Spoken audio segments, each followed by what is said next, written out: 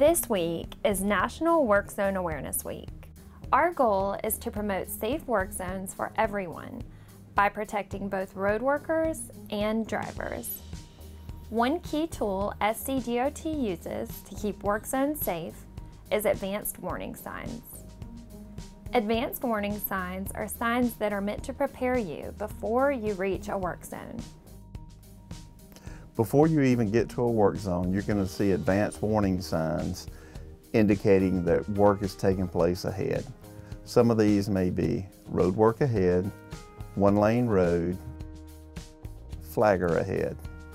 These signs are put in place to warn you and get your attention that work is taking place and that there are certain things we need you to do to ensure the safety of our workers and the safety of the motorist. Advanced warning signs are not only used in work zones. There are also other warning signs that you may see on the roadway, that, such as railroad crossings, school bus ahead stops, yield signs. Always make sure that you pay attention to these signs and be ready to respond. Fewer people are currently on South Carolina's roadways because of Governor Henry McMaster's coronavirus mandates. That means road work is booming. SCDOT intends to keep working on road and bridge construction projects until it is no longer safe or effective for us to do so.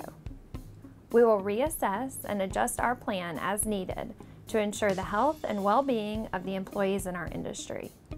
If you must travel, please be cautious of SCDOT crews working through this pandemic. Let them work, let them live. Lauren Roeder, SCDOT.